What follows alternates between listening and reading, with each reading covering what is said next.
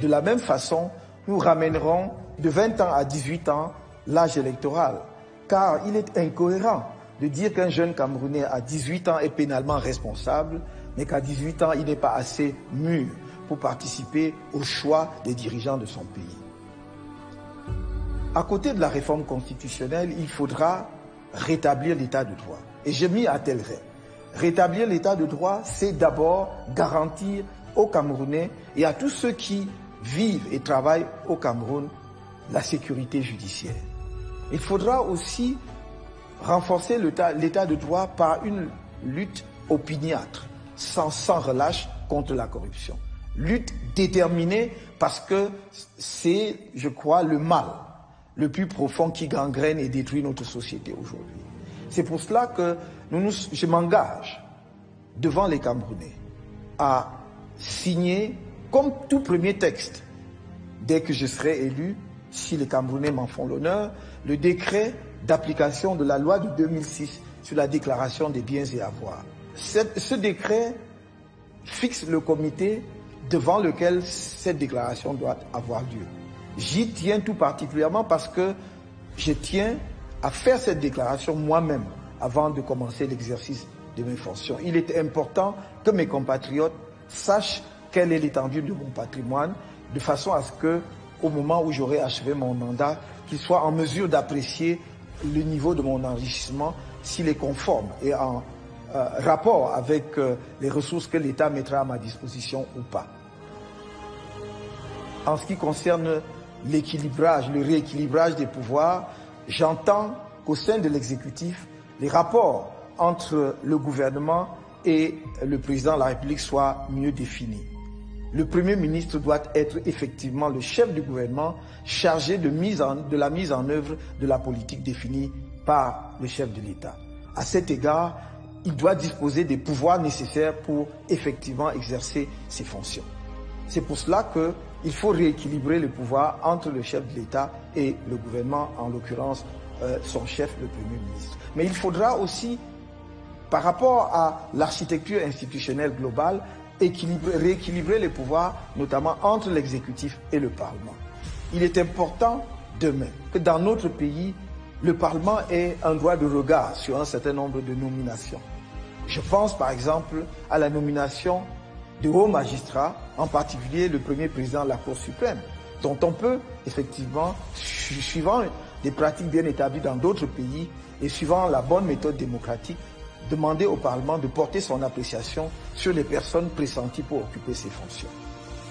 Pareillement, il est absolument indispensable demain qu'après la mise sur pied du fonds souverain que nous entendons mettre en place, qui sera en quelque sorte aussi un fonds pour les générations futures, que le Parlement puisse avoir un droit de regard.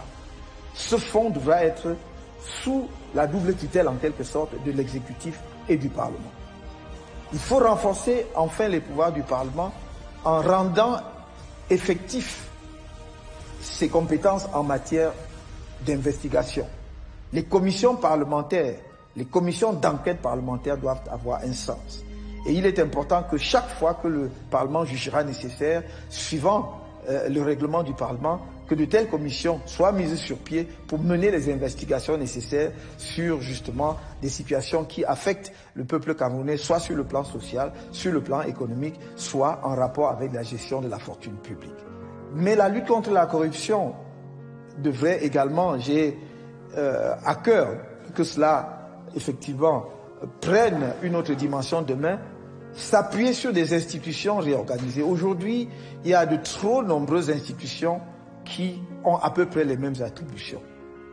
L'ANIF, la CONAC, euh, le ministère chargé du contrôle supérieur de l'État sont toutes des organisations chargées justement de veiller à la lutte contre la corruption.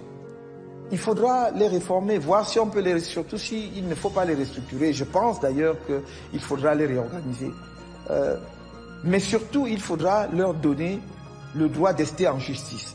C'est-à-dire que lorsque leurs investigations conduisent à l'indélicatesse d'un agent public, que ces organisations puissent saisir directement de la justice sans attendre que les rapports qu'ils auront adressés au chef de l'État puisse prospérer suivant le bon vouloir du chef de l'État. Aujourd'hui, on voit épervier voler de temps en temps et pas à d'autres moments, on ne sait pas très bien pourquoi. Donc euh, épervier doit voler à tout moment, chaque fois, effectivement, qu'il y a une proie à attraper parce qu'elle est en délicatesse avec la fortune publique. Dans le cadre de ce chantier numéro un, nous attendons mettre un accent sur l'organisation du vivre ensemble dans notre pays. Faire que les Camerounais de toutes les régions se connaissent mieux. Et cela passera, entre autres, par l'organisation pour les jeunes Camerounais, dès la maternelle, des colonies de vacances d'une région à l'autre, pour que les enfants qui vivent dans une région aillent à la découverte de d'autres régions du Cameroun dans des familles d'accueil, avec l'accompagnement des pouvoirs publics. Ce vivre ensemble aussi doit passer par l'encouragement de la pratique des, des, différentes langues régionales, pas même camerounaises. Mais s'agissant des langues en particulier, je mets un point particulier à la création d'une langue nationale non pas qu'une des langues camerounaises sera imposée euh, juridiquement ou de facto à, l'ensemble des Camerounais, mais il s'agira vraiment d'une langue construite à partir d'une grammaire que définiront les spécialistes de la, linguistique, et il y en a de nombreux dans notre pays, et le vocabulaire sera d'autant plus riche que nous avons une diversité linguistique. Nous allons donc utiliser des synonymes pour utiliser pour avoir un vocabulaire tiré des différentes langues de toutes les régions du pays. Nous en avons environ 250 langues. Les écrivains auront une marge de manœuvre extraordinaire pour rédiger en utilisant des synonymes. Donc une langue nationale. Je voudrais également insister sur euh, l'organisation ou la réorganisation de la citoyenneté. À cet égard, nous tiendrons justement des assises de la citoyenneté de façon à ce que les Camerounais débattent entre eux de ce que c'est qu'être Camerounais. Qu'est-ce qui fait l'identité de notre pays? Et cette citoyenneté doit être sur le plan formel, j'allais dire, euh, relayée par la création d'une carte d'identité unique, d'une carte d'identité avec un numéro de référence unique qui permettra à tout Camerounais, tout au long de sa vie, de pouvoir jouir pleinement de ses droits.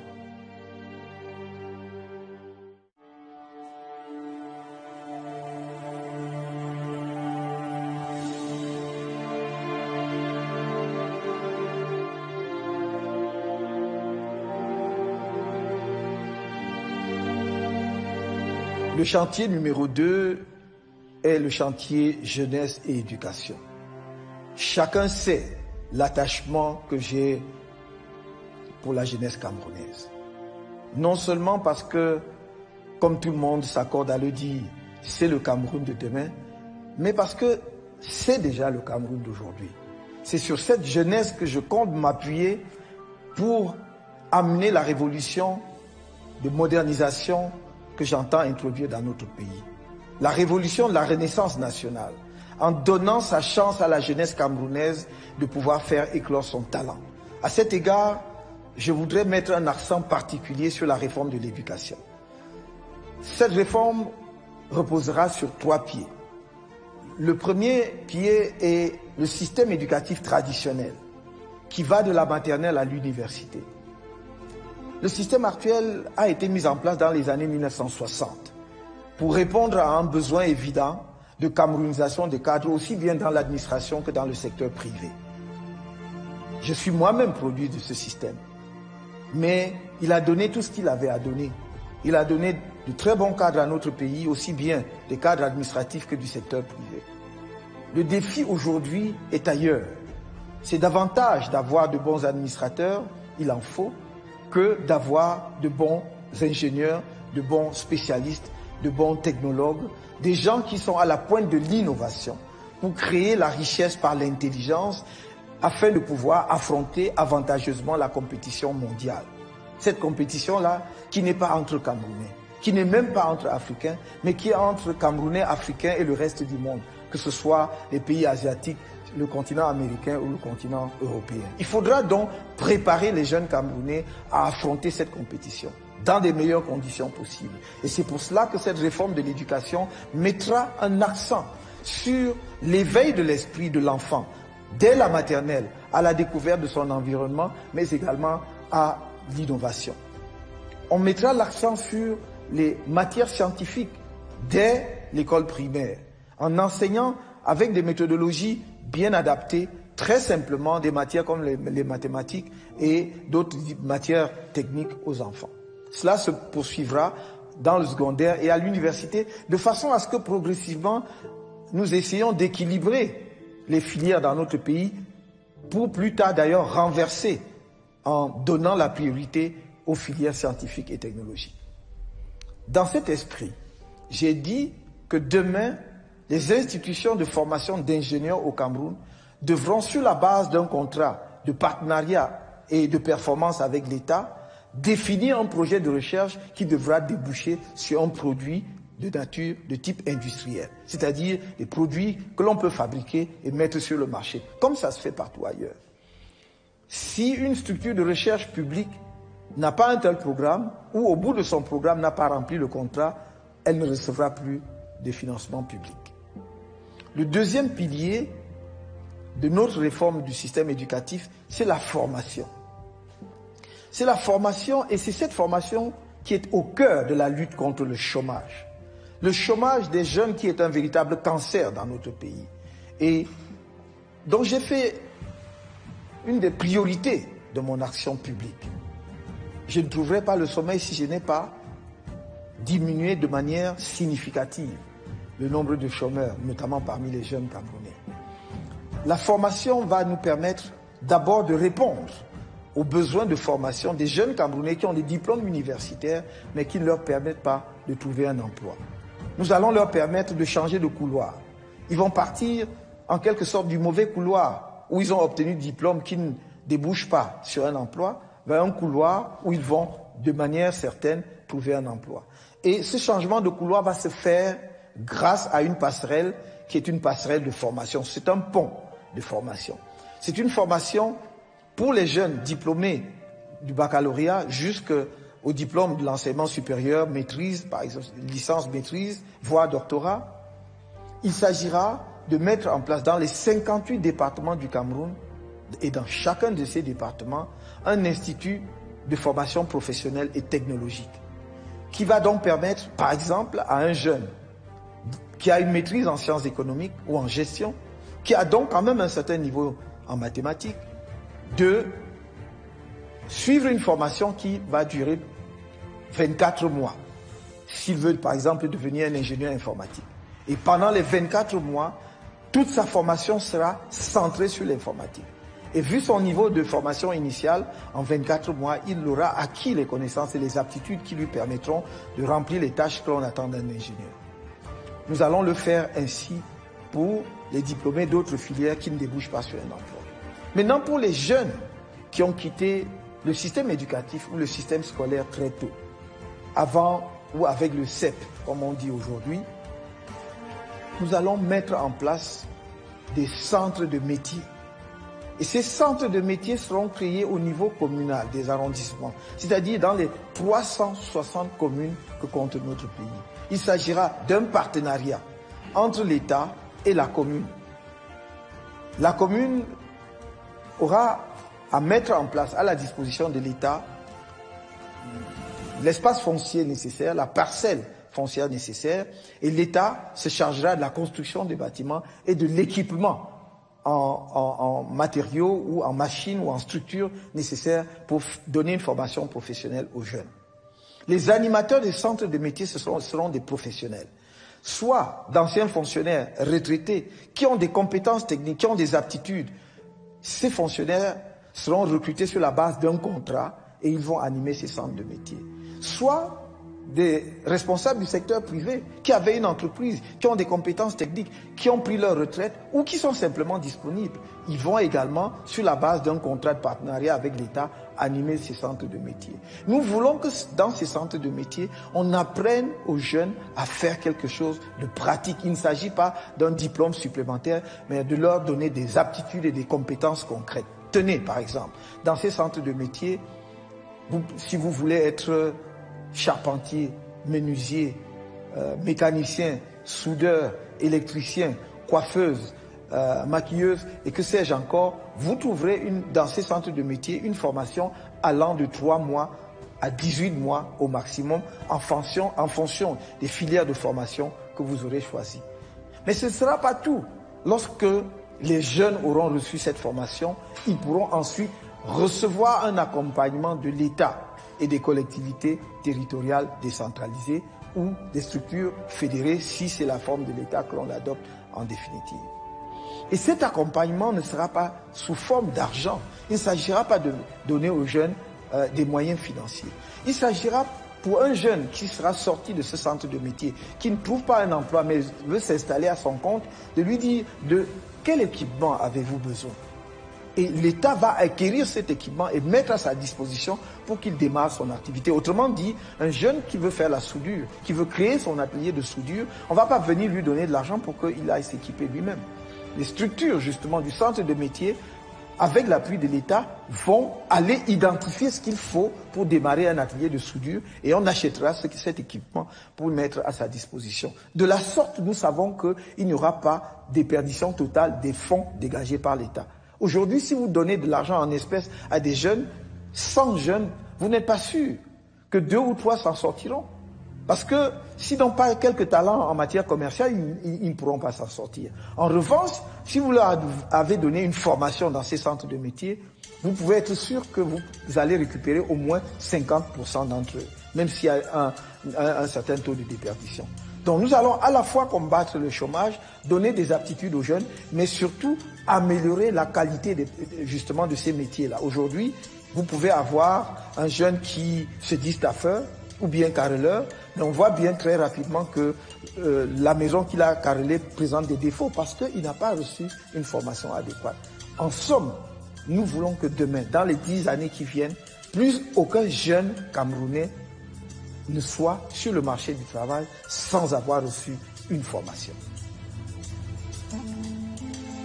Le troisième pilier de ce chantier jeunes et éducation, c'est la réforme qui aura à cœur de développer la recherche et l'innovation au Cameroun.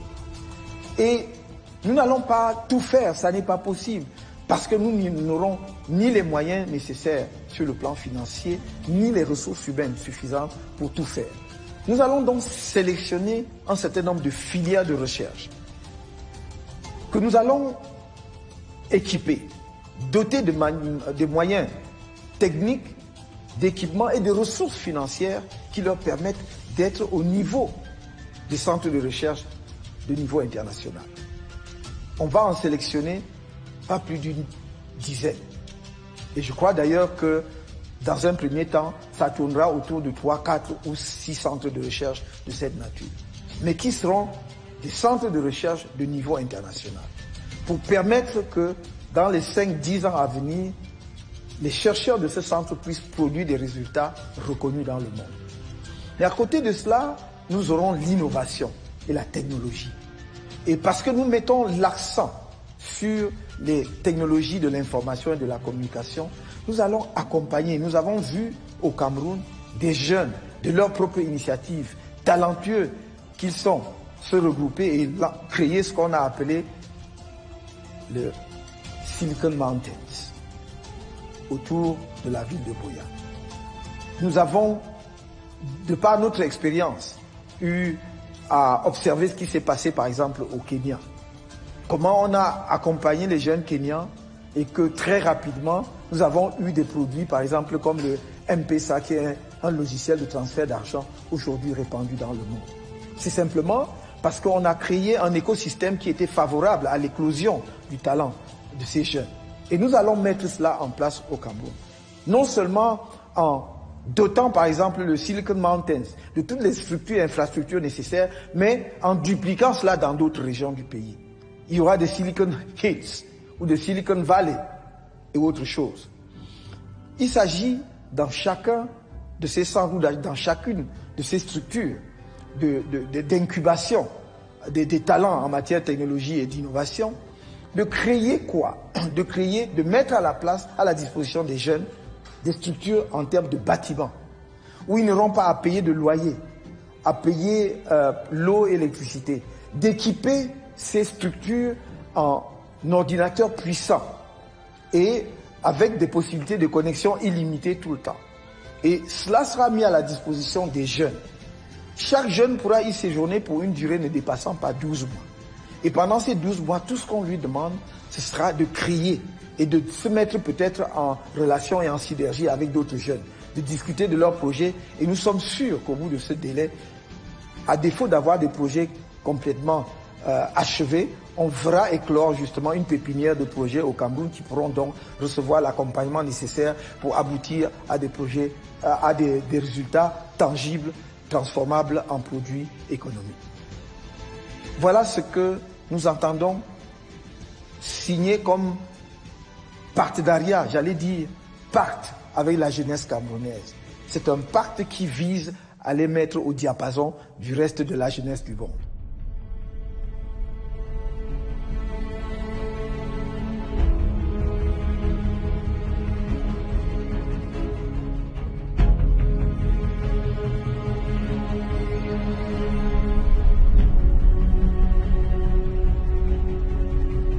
Troisième chantier est le chantier économie et production. D'emblée, je dois dire que euh, nous, nous nous fixons pour objectif de faire entrer le Cameroun dans les 50 pays qui sont favorables aux affaires, suivant le classement de Doing Business, dans les sept ans à venir. Chantier économie et production, c'est le cœur de la bataille pour la modernisation du Cameroun. À cet égard, je dois dire qu'un accent particulier sera mis sur l'aménagement du territoire. C'est le point de départ. C'est la boussole pour conduire justement les réformes structurelles dont le pays a besoin, en sachant, grâce justement à la vision d'ensemble du territoire, à quel endroit chaque infrastructure sera établie? Où veut-on construire une autoroute demain? Notre ambition, c'est de relier Douala Yaoundé par chemin de fer jusqu'à jusqu'à Pousseri puis N'Djamena par une voie ferrée à deux voies. Quel sera le tracé de cette voie ferrée à deux voies? C'est l'aménagement du territoire qui nous permet d'anticiper. Nous voulons créer une ville nouvelle demain dans la zone dans une zone située globalement dans le nord du Mbam actuel et dans le sud de l'Adamawa. C'est l'aménagement du territoire qui nous permettra d'anticiper sur le site de cette ville. Nous voulons avoir une politique spéciale des villes frontalières, comme Kousri, comme euh, euh, Amchide, comme euh, euh, Ambam, comme euh, Eyumojok, comme Dorofi et que sais-je encore c'est l'aménagement du territoire qui nous permettra de cartographier toutes ces activités. Nous voulons implanter de nouvelles universités demain, en particulier des universités de sciences et de technologie, essentiellement. Nous voulons dès à présent anticiper sur le lieu des campus pour que nous ne soyons pas confrontés demain à des difficultés foncières ou à l'étroitesse justement de l'espace affecté à des campus que nous voulons modernes, agréables pour les étudiants et pour la recherche, dont l'aménagement du territoire est crucial. Nous voulons des espaces dédiés à l'agriculture que l'on ne peut pas désormais demain transformer en espaces urbains, donc des espaces non constructibles. C'est l'aménagement du territoire qui va nous permettre de définir les terres agricoles protégées et sécurisées c'est l'aménagement du territoire qui est donc la carte qui nous donne justement la direction où nous devons aller. Une fois que cette question est réglée, parmi les objectifs économiques majeurs, nous avons l'agriculture, nous avons l'industrie, nous avons l'approvisionnement des Camerounais en énergie, nous avons l'eau, nous avons le tourisme, tout cela combiné avec la protection de l'environnement.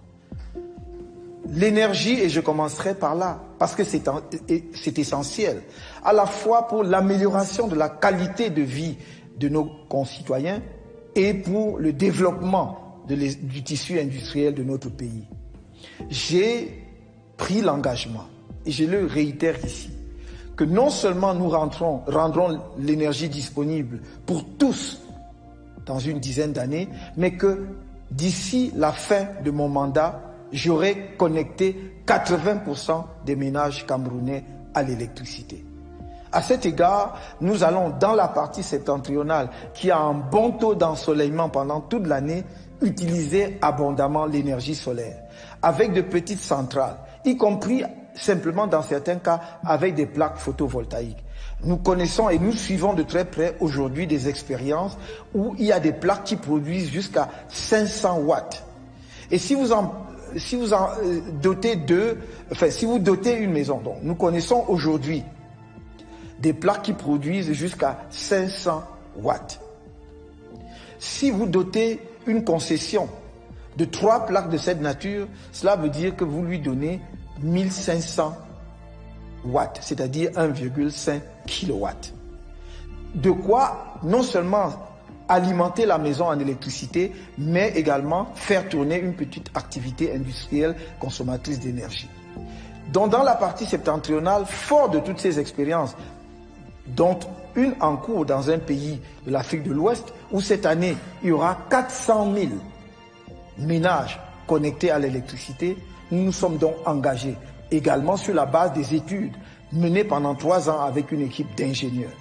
Dans la partie sud, où le Cameroun a la chance extraordinaire d'avoir beaucoup de cours d'eau comparé à beaucoup d'autres pays africains, le niveau technologique actuel permet de transformer chaque cours d'eau, si petit soit-il, en de doter pardon, chaque cours d'eau, si petit soit-il, d'un petit barrage. Donc nous allons essaimer la partie sud de micro-barrages de 1, méga, kW, donc de 1 MW, 1,5 MW, voire 0,5 MW pour alimenter un village, un quartier, une ville ou un département. Une expérience de cette nature a été conduite dans un des départements du Cameroun. Elle n'est pas allée jusqu'à son terme, mais il était prouvé qu'avec un mini barrage de 1,7 MW, on aurait pu alimenter l'ensemble du département.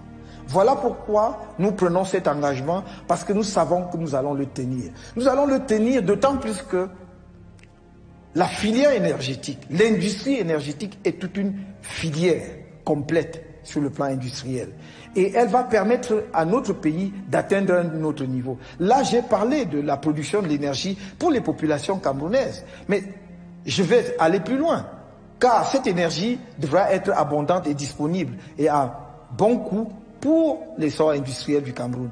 J'ajoute que le Cameroun a un potentiel énergétique qui lui permet d'être exportateur net d'énergie dans les pays voisins.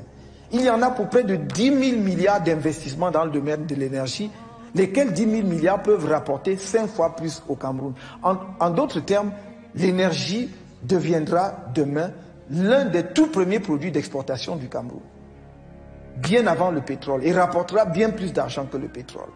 Donc c'est la politique énergétique que nous voulons mener qui consiste d'une part à améliorer la qualité de vie du Camerounais simple, ordinaire, comme on pourrait dire, de mettre de l'énergie abondante et bon marché à la disposition de l'industrie et d'exporter de l'énergie vers les pays voisins pour ramener effectivement de l'argent et des devises dans notre pays.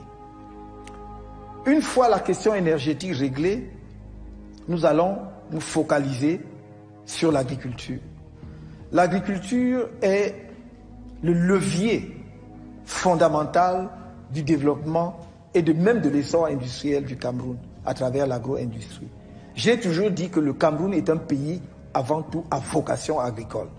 Et nous allons mettre l'accent là-dessus d'abord parce que c'est le plus sûr moyen de tenir un pays en paix, d'assurer effectivement une alimentation saine, continue pour toutes les populations, dont l'agriculture est au cœur de la politique de paix que tout, tout gouvernement peut ambitionner d'avoir.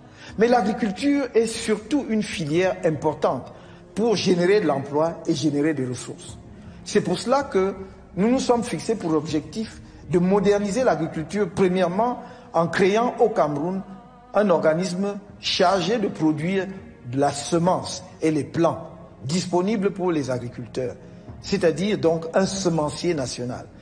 D'une part parce que cela va nous assurer notre indépendance par rapport à l'approvisionnement extérieur en semences, mais également cela va nous permettre d'identifier aussi les semences du terroir qui tendent à disparaître, parce que c'est cet organisme qui devra recenser l'ensemble des variétés agricoles que nous avons dans notre pays. Mais l'utilité économique de ce semencier vient du fait que pour accroître notre production agricole, que ce soit dans le domaine des produits de rente comme le café, le cacao, le coton euh, et que sais-je encore, les plans améliorés mis au point par les chercheurs seront désormais disponibles. À l'heure actuelle, si vous dites à un agriculteur, il y a la semence de maïs améliorée ou une variété de riz améliorée, il sera très enthousiaste et intéressé. Mais dès qu'il sort, il ne saura pas où trouver la semence. Nous allons donc rendre cela disponible. Le deuxième levier pour moderniser, de modernisation de l'agriculture du Cameroun, c'est de rendre disponibles les intrants, les engrais. Et nous mettrons l'accent sur les engrais biologiques. Les engrais chimiques détruisent et fatiguent la terre. D'ailleurs, ce n'est pas au moment où l'Europe, justement, essaye de se débarrasser des engrais chimiques que nous allons mettre l'accent sur les engrais chimiques en Afrique. Nous devons apprendre des autres. Et la technologie existe en la matière. Donc nous ferons en sorte que les intrants soient disponibles et à bon marché. Je ne peux pas hésiter ici à dire, je le dis de manière claire, nous subventionnerons l'agriculture Il n'y a pas d'agriculture au monde, des grands pays qui ne soient pas subventionnés. Même les pays qui sont réputés être des temples du capitalisme subventionnent leur agriculture. L'Union européenne est bâtie autour de la politique agricole commune, ce qu'on appelle la PAC. Et cette politique agricole commune, c'est la subvention des subventions que l'on déverse dans les régions européennes pour produire bon marché. Nos agriculteurs et notre agriculture n'arriveront jamais à concurrencer ou même à soutenir leur place face justement à ces agricultures qui sont subventionnées. Donc, nous allons y remédier. Et cela passera justement par la facilitation de l'accès aux intrants dont j'ai parlé tout à l'heure, mais également à la semence. Et une faible taxation de l'agriculture, même là où ça existe. Le troisième pilier ou troisième levier de modernisation de l'agriculture, c'est la mécanisation. Et nous avons toujours dit, il est absurde que nous regardions 60 ans après l'indépendance, nos parents pratiquer la même agriculture primitive à la houe que leurs ancêtres. Il faut faire quelque chose, non seulement pour diminuer la pénibilité des tâches agricoles, mais également pour booster le rendement, accroître le rendement. Ce qu'une personne peut faire à la houe, une vache ou deux chevaux peuvent faire, peuvent faire cinq fois plus. C'est pour cela que le premier niveau de mécanisation pour les petites exploitations qui ne dépassent pas un hectare, deux hectares, sera de, doter justement ces petites exploitations de la possibilité de faire l'agriculture attelée, c'est-à-dire à la charrue. C'est une pratique qui est déjà bien connue dans la partie septentrionale du pays. Il faudra généraliser et vulgariser, y compris dans la partie sud. Mais le, deuxième euh, mécanisme de mécanisation, c'est la mécanisation motorisée, qui n'est pas déjà la, la, mécanisation par des tracteurs, c'est la mécanisation euh, à moteur, mais poussée par un homme ou une femme. Et donc là aussi, on réduit la pénibilité du travail agricole avec l'avantage la, que, avec ces engins, ces équipements qui existent et disponibles euh, dans le monde, que nous voudrions demain non seulement pouvoir monter chez nous dans un premier temps, mais les fabriquer parce que nous avons des ingénieurs capables de le faire. Avec ces engins, vous pouvez labourer 5, 10, 15, 20 hectares plus facilement. Et pour les exploitations agricoles au-dessus, à partir de 30 voire 50 hectares, il faudra mettre de véritables tracteurs. Et ces tracteurs, nous avons vu effectivement que les expériences que nous connaissons dans notre propre pays, effectivement, sont très favorables. Cela, effectivement, accroît la productivité dans le domaine agricole. Donc, la mécanisation. Et enfin, pour clore le volet agricole et la filière agricole, il faudra doter justement le monde agricole de petites industries agro-industrielles. Il ne faut plus tout concentrer dans les grandes métropoles comme Douala et Yaoundé. L'industrie agro-industrielle, euh, les entreprises, les usines pardon, agro-industrielles sont beaucoup plus rentables lorsqu'elles sont construites auprès des lieux de production, de la matière première. Il est euh, économiquement, il est économiquement peu rationnel de produire des tomates à Fumbot euh, ou à Malantuem et de les transporter à Douala pour les transformer. Il faut mettre l'unité de transformation à Fumbot ou à Fumban.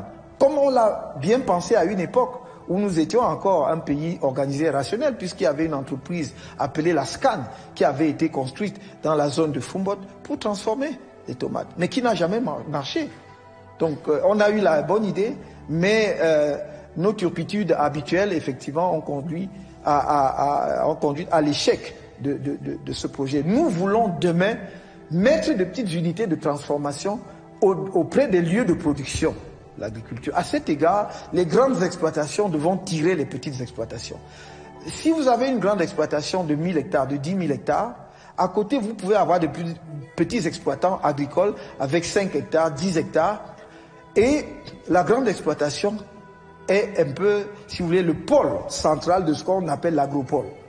Parce que c'est cette grande exploitation qui va acheter la production des petits producteurs pour les transformer, transformer dans l'usine ou pour l'exporter. De cette manière-là, les petits producteurs seront sûrs d'écouler leur production et donc seront plus euh, euh, durs à la tâche, vont travailler plus parce qu'ils sont sûrs d'écouler leurs produits, ce qui n'est pas garanti aujourd'hui. J'ai commencé ce chantier économique sans m'apesantir sur un volet crucial qui est la précondition de tout succès dans, le domaine de la réforme économique. Ce sont les infrastructures, et en particulier les infrastructures de transport. Il faut faire des routes, mais il faut les faire sérieusement. Et il faut les faire au coût réel, au coût moyen que l'on observe sur le marché international et dans d'autres pays. La surfacturation est devenue un sport national au Cameroun. Et donc, cela ne nous permet pas de bitumer, par exemple, autant de kilomètres de route que nous aurions pu, ou d'entretenir autant de kilomètres de route que nous aurions pu, d'ouvrir de nouvelles routes. Or, nous nous engageons, dès lors que nous aurons effectivement la conduite des affaires de ce pays, d'inscrire au minimum 800 milliards de francs chaque année dans le budget de l'État pour les infrastructures de transport. De la sorte, nous pourrons par exemple effectivement construire l'autoroute autour du triangle que l'on connaît, c'est-à-dire Yaoundé, Douala, Bafoussam, Yaoundé, mais avec un prolongement sur Bamenda et également à Douala avec un prolongement jusqu'à Boya Limbe. Nous allons également construire l'autoroute du Nord, qui est un de nos grands rêves. En dehors du chemin de fer, il faudra effectivement relier le sud du pays au nord jusqu'à Kousseri par une autoroute. Je ne dis pas par une route, mais vraiment par une autoroute. C'est économiquement justifié. Parce qu'une telle route est la voie de desserte de trois, des trois régions septentrionales du pays. Déjà, même politiquement, c'est défendable, mais économiquement, c'est justifié. Donc, pour approvisionner toutes ces régions en produits venant du port et pour évacuer les productions de ces trois régions vers le sud et d'autres lieux de consommation et d'exportation, il faut, en dehors du train dont nous avons parlé tout à l'heure, une voie routière de niveau international, de niveau euh, au standard, j'allais dire, connu euh, dans, les pays euh, que nous regardons avec admiration. Donc, autoroute qui va donc jusqu'à Kousri et qui pourra donc dans les régions du nord en fonction de l'importance des localités se bifurquer sur d'autres euh, localités importantes. Voilà dans le domaine du transport. Et ça, c'est dans le domaine autoroutier. Parce que nous allons construire un certain nombre de kilomètres de routes régionales, de routes départementales. Évidemment, les routes municipales ou communales ou des villes seront à la charge des villes et non plus, comme aujourd'hui, à la charge de l'État et surtout même à la charge des, délégués du gouvernement, car il faudra demain des maires élus qui assurent et soient responsables du développement de leur commune. Donc cette question d'infrastructure de transport est vitale. Et nous allons développer cette infrastructure de transport, y compris le transport fluvial. Nous avons beaucoup de cours d'eau dont certains sont navigables, en tout cas sur un certain nombre de tronçons. De tronçons. La Sanaga est navigable sur plusieurs tronçons. Et donc on peut aussi évacuer les produits euh, agricoles, produits le long de la Sanaga ou au bord de la Sanaga par la voie fluviale au, lieu justement d'utiliser les camions pour euh, les transporter sur, par des détours encore plus longs. Oui, donc il faudra développer ce transport fluvial sur la Sanaga et d'autres cours d'eau. Et dans les villes traversées par des cours d'eau, voir effectivement aussi comment utiliser des moyens de transport euh, euh, fluviaux. Par exemple, pour le transport des populations, on peut parfaitement imaginer qu'en dehors ou en plus euh, du pont sur le Vouri et d'autres ponts qu'on construira sur le Vouri, par exemple, il puisse y avoir le transport d'une rive de Vouri à l'autre, justement par des petites embarcations bien conçu pour les besoins de la cause ou même pour la plaisance, n'est-ce pas, sur le Vouri. on peut imaginer, on, a, on voit dans diverses villes, pas seulement en Europe, mais même en Afrique, au Caire, vous, voyez, vous avez des bateaux niches qui peuvent monter et descendre avec des conçus comme des restaurants où les gens peuvent dîner tranquillement le soir. Donc, l'infrastructure de transport va être essentielle. Euh, donc, euh, maintenant, euh, je profite de ce que je suis sur le point de l'infrastructure de transport pour dire que en liaison avec notre politique d'aménagement du territoire, je vous ai parlé d'une ville nouvelle que nous avons l'ambition de construire dans la zone nord du BAM, c'est-à-dire dans ce qu'on appelle aujourd'hui le BAM-Ekim, dans la zone nord, euh, aux alentours de, de, Yoko, euh, mais un peu pas confondu à la ville de, Loko, de Yoko, et au sud de la Damawa. C'est là que nous voulons concentrer toute la perspective, la projection technologique du Cameroun de demain. C'est une ville de futur. Ce sera une ville intelligente, mais ce sera également une ville verte. Dans un pays qui a le massif forestier que nous avons, nous voulons là expérimenter des choses nouvelles, avec nos variétés, les variétés de nos forêts. Montrer justement que ce que la nature nous a donné généreusement, nous pouvons aussi l'exploiter, améliorer dans le cadre d'un espace urbain. Ce sera une ville de recherche. Ce sera une ville de promotion et de l'innovation technologique. Ce sera également une ville universitaire où effectivement les secteurs de pointe dans le développement et la recherche seront localisés. Mais comme je l'ai dit tout à l'heure, nous avons une politique urbaine. À cet égard, je voudrais dire que nous avons étudié la ville de Douala avec l'avènement du port en eau profonde de, de, la ville de Douala est une ville qui a toujours vécu depuis sa création autour du port. Et donc, avec l'avènement de la ville de Kribi, le port de Douala, ne va pas disparaître, mais ce sera plus euh, le seul port et certainement pas le port qui euh, euh, accueille le, plus de trafic de marchandises en venant de l'extérieur ou en partance pour l'extérieur. Il faut donc revoir la fonction de la ville de Douala. Et nous voulons faire de Douala demain la grande ville, la grande capitale financière et économique de l'Afrique centrale. Pas du Cameroun, mais de l'Afrique centrale. Avec le quartier que l'on appelle le plateau Jos étant le cœur de la finance de l'Afrique centrale. Le plateau Jos où les normes de construction seront revues à la hausse, où les immeubles les plus bas auront une hauteur de 15 étages minimum parce qu'il y aura une concentration. Ce sera, si je voulais faire une comparaison, un peu le Manhattan de l'Afrique centrale. Et donc, ce sera à la fois Manhattan et la City, au sens de cœur financier de l'Afrique centrale. Il s'agira de bâtir là-bas, j'allais dire, un, quartier d'affaires et financier du niveau international.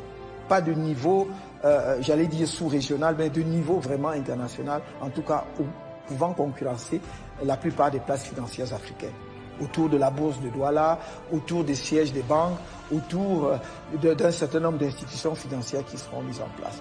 Et capital économique parce que nous voulons aussi que le siège de la plupart des entreprises, des grandes sociétés multinationales et autres soient installés.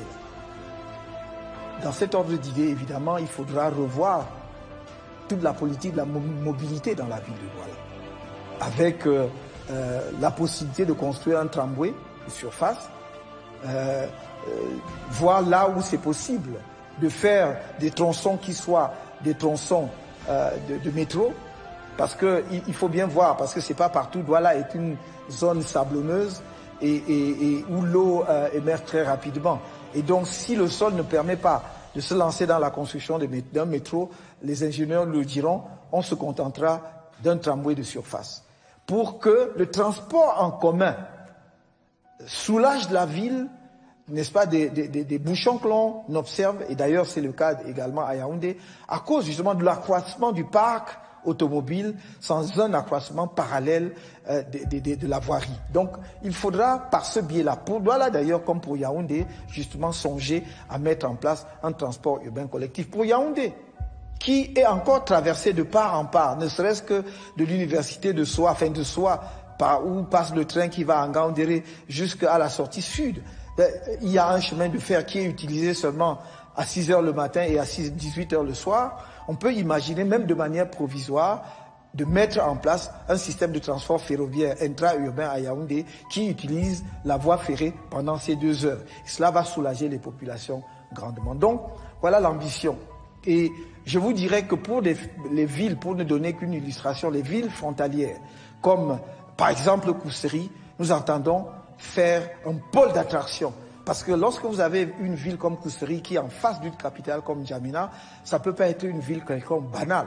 Il faut lui donner un statut de ville camerounaise vitrine qui va permettre effectivement à ceux qui arrivent dans notre pays de voir à travers les structures d'éducation qui seront en place, à travers les infrastructures de tourisme qui seront en place, justement la bonne modernité de notre pays. Dans le domaine de l'économie et de la production,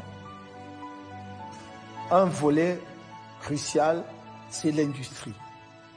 Il faut industrialiser, et j'allais même dire réindustrialiser notre pays, en menant des politiques adéquates, en revoyant les accords de partenariat économique et en nous demandant si effectivement nous pouvons tirer vraiment notre épingle du jeu en termes d'industrialisation avec ces accords-là. Mais surtout en bâtissant des filières industrielles. Nous ne pouvons pas, je l'ai dit, tout faire. Cela est valable dans le domaine de la recherche, cela l'est également dans le domaine de l'industrie. C'est pour cela que nous avons identifié 13 filières industrielles sur lesquelles le, Cameroun focalisera son attention à l'avenir. J'ai parlé de l'énergie, mais j'ai parlé aussi de l'agro-industrie. Il y aura la biotechnologie, il y aura euh, euh, l'industrie minière, bien entendu, et j'en passe. Nous avons identifié les 13. Je pense que dans le texte détaillé que l'on verra à l'écrit, on pourra voir toutes ces 13 filières. Mais pour encourager les investisseurs nationaux, mais également internationaux, il faut porter une attention particulière à notre politique fiscale. Et c'est pour cela que nous avons pris l'engagement au cours du mandat de ramener de 33% environ 33% euh, euh, l'impôt des sociétés aujourd'hui à 25%.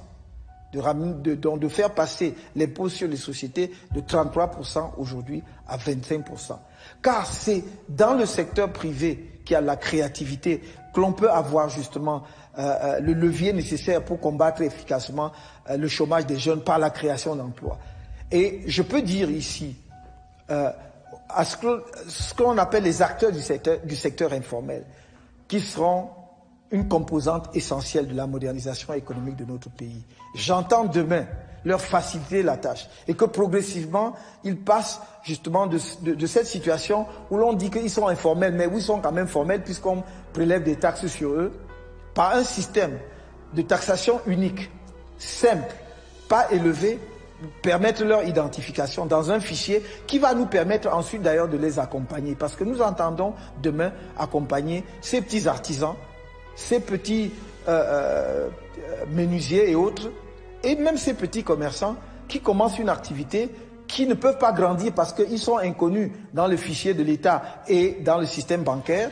Nous voulons les accompagner demain grâce à un système d'identification qui nous permet de les sortir progressivement du secteur informel vers le secteur formel. Et nous allons faire en sorte qu'il n'ait plus de tracasserie. Parce que je crois que les jeunes Camerounais qui, comme on dit, se débrouillent, souffrent de ce que, à tout moment, ils peuvent être confrontés à des difficultés venant de la municipalité ou venant des forces de, de sécurité, du maintien de l'ordre. Nous nous engageons demain dans les grandes villes, dans les grandes métropoles et dans certaines villes qui sont des villes de grande production agricole à construire des marchés internationaux. Il y aura un marché international de gros dans les la banlieue de Yaoundé. Il y en aura peut-être même deux à Douala dans le domaine agricole, mais également dans le domaine du commerce traditionnel. Qui sont des marchés qui seront des marchés pour l'Afrique centrale. Parce que nous voulons aujourd'hui que, le, que nous voulons pardon, que demain le Cameroun devienne rapidement un lieu de convergence pour les activités économiques, comme certains prennent l'avion pour aller euh, à Dubaï ou en Chine. Nous allons mettre en place le cadre nécessaire et les incitations qu'il faut pour attirer ces activités-là chez nous. Et pour cela, nous allons faire des grands, marchés internationaux.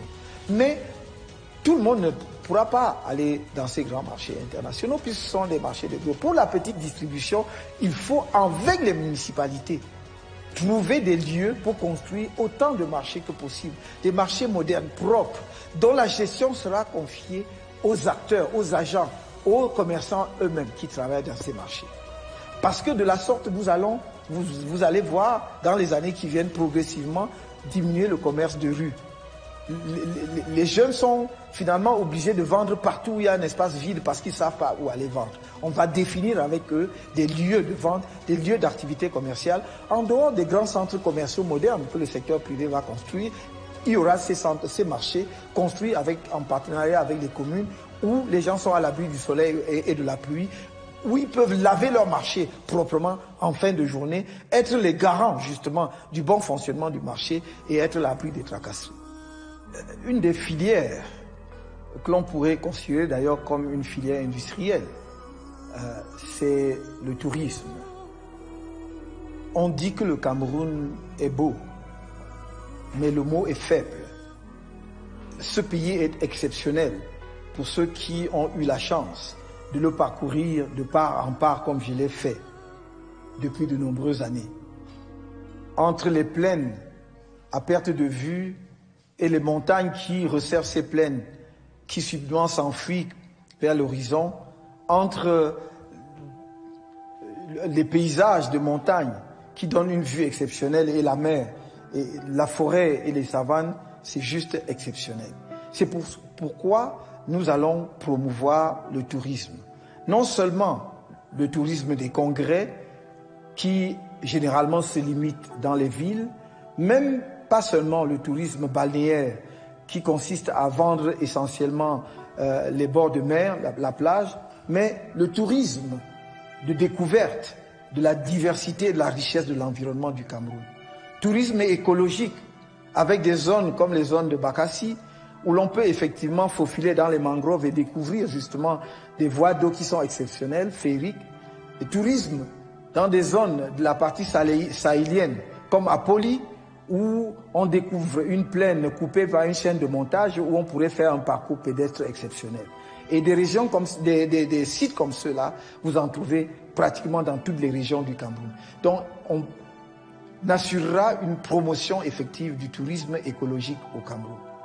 S'agissant du tourisme plus traditionnel, appuyé sur le secteur privé, nous allons les encourager à multiplier les infrastructures touristiques. Il reviendra à l'État, bien entendu, de construire les voies de desserte des sites touristiques. Et avec l'accompagnement de l'État, le secteur privé sera fortement encouragé à construire des hôtels euh, et tous les autres types de structures d'animation touristique que l'on voit dans d'autres pays. Je voudrais que demain, il existe au Cameroun des marques et des chaînes d'hôtels de niveau international deviennent des marques connues en Afrique, comme l'on voit apparaître progressivement, par exemple, en Afrique de l'Ouest et déjà depuis plus longtemps en Afrique de l'Est et en Afrique du Sud. Le tourisme camerounais peut ramener à notre pays autant de revenus et de ressources que des filières entières dans le domaine de l'industrie ou dans d'autres secteurs.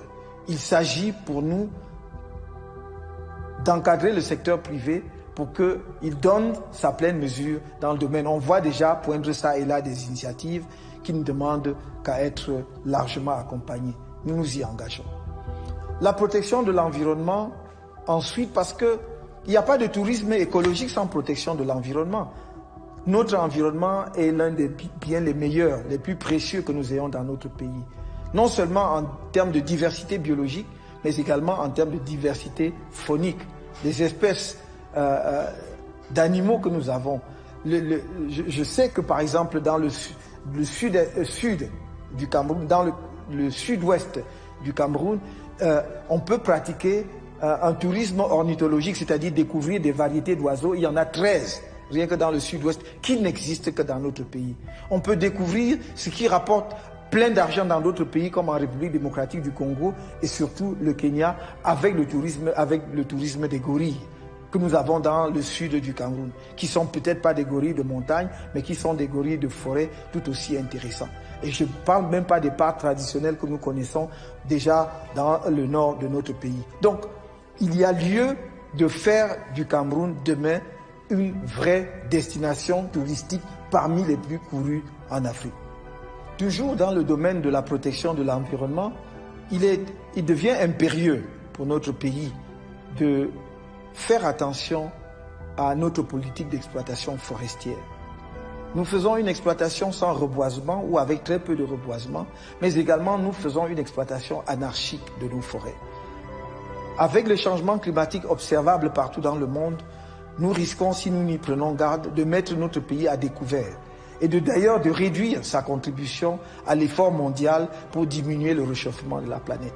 Il me semble que la protection de l'environnement peut devenir aussi un atout précieux pour notre pays, puisque les moyens et les ressources que l'on va dégager progressivement pour la protection de l'environnement mondial seront affectés aussi et prioritairement aux pays qui font un effort dans ce domaine. Et le fait pour nous de préserver notre massif forestier sera une contribution qui pourra, recevoir une contrepartie financière conséquente. La protection de l'environnement est l'atout majeur pour le tourisme du Cameroun demain. C'est pour cela, encore une fois, que nous nous y mettrons un accent particulier.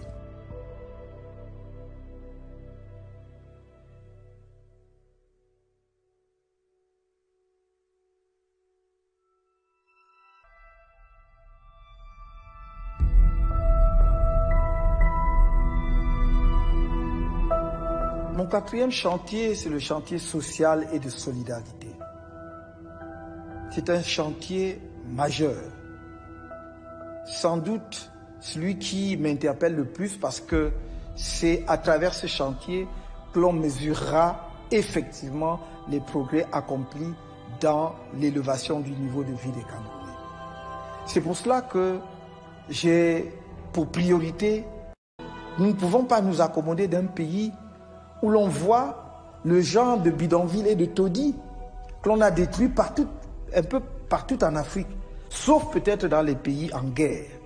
On ne peut pas dire que le Cameroun avance et que le Cameroun progresse avec ce que nous avons pu observer dans un certain nombre de nos villes après des pluies torrentielles, où les inondations emportent des baraquements précaires, où les gens vivent dans la précarité totale, sur des drains non aménagés, c'est pour cela que nous avons fait de la construction des logements sociaux une priorité. Mais ce ne sera pas l'État qui va construire les logements sociaux.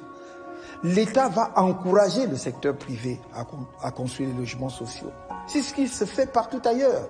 Les promoteurs immobiliers sont disposés à le faire. J'en ai parlé avec un certain nombre d'entre eux et croyez-moi, y compris des promoteurs étrangers, ils peuvent construire au cours, et ils construiront, avec la politique que nous mettrons en place, au cours de notre mandat, un million de logements pour les Camerounais. Un million de logements sociaux, moyen standing et grand standing pour les Camerounais. Cela est faisable.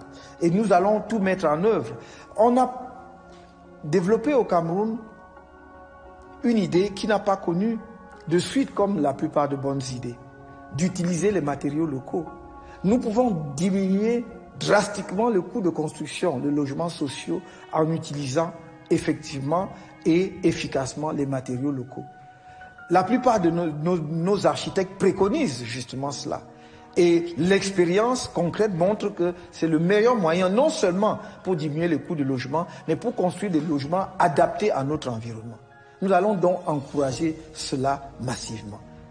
Dans les milieux urbains comme dans les milieux ruraux. Quand on parle de, logements sociaux et de construction, on ne pense qu'aux villes. Je veux changer les campagnes camerounaises.